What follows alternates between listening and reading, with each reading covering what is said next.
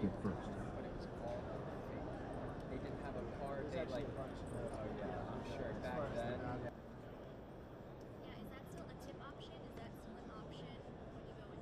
Google, NBC, they did a whole segment on us. Like, do we? Excellent choice. Jonathan, our dirty taro latte is one of my favorites. Let me prepare it right away.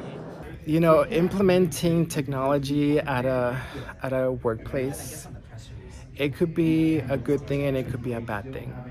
You know, companies are always going to look for ways to save money and to, you know, cut labor. We are worried if, you know, in the future companies are going to implement new technology or even if they could replace us.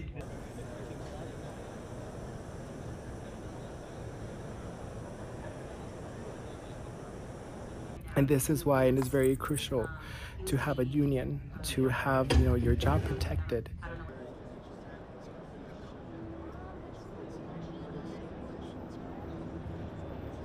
Uh, to, to provide our customers with uh, the best user experience, we still need to have a person in our stores. This is our very first boba machine, automatic boba machine. So the thing is that we're not trying to take over um, the business side, but a- as a matter of fact, we're just trying to fill in the gaps.